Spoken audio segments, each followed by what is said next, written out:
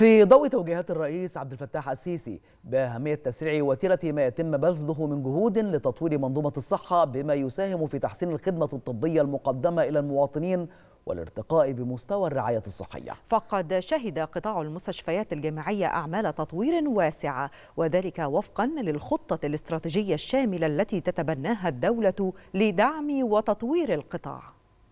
طفرة غير مسبوقة شهدها قطاع المستشفيات الجامعية في مصر خلال العشر سنوات الماضية حيث نجحت وزارة التعليم العالي والبحث العلمي في تحقيق إنجازات في مختلف القطاعات والميادين. وشهد قطاع المستشفيات الجامعية أعمال تطوير واسعة وفقا للخطة الاستراتيجية الشاملة التي تتبناها الدولة لدعم وتطوير هذا القطاع وفي ضوء توجيهات الرئيس عبد الفتاح السيسي بأهمية تسريع وتيرة ما يتم بذله من جهود لتطوير منظومة الصحة بما يساهم يساهم في تحسين الخدمة الطبية المقدمة إلى المواطنين والارتقاء بمستوى الرعاية الصحية. وارتفع عدد المستشفيات الجامعية من 88 مستشفى جامعي في عام 2014 إلى 120 مستشفى في عام 2023 بزيادة قدرها 32 مستشفى. وبلغ حجم الإنفاق على المستشفيات الجامعية خلال الفترة من 2014 إلى 2022 30 مليار جنيه. ولا يمكن إغفال الدور الفاعل للمستشفيات الجامعية في تنفيذ المبادرات الرئاسية ومنها إنهاء قوائم انتظار العمليات الحرجة والتدخلات الجراحية العاجلة و100 مليون صحة والقضاء على فيروس سي والأمراض غير السارية وصحة المرأة بالإضافة إلى مبادرة قدم صحيح وذلك ضمن بروتوكول تعاون مشترك بين المجلس الأعلى للمستشفيات الجامعية ومؤسسة صناع الخير للتنمية ومبادرة حياة كريمة. فضلا عن تعاون الجامعات مع هذه المبادرة في إطلاق قوافل شاملة للمراكز والقرى التابعة لها بالمحافظات الواقعة في نطاقها الجغرافي. وشهد عدد الأطباء العاملين بقطاع المستشفيات الجامعية ارتفاعا كبيرا حيث بلغ عام 2023 ما يقرب من 321250 طبيبا. كما تجاوز عدد الأسرة 36 ألف سرير وألف حضانة وخمسة آلاف سرير رعاية وذلك بتكلفة وصلت إلى ملياري جنيه. أعمال التطوير بالمستشفيات الجامعية على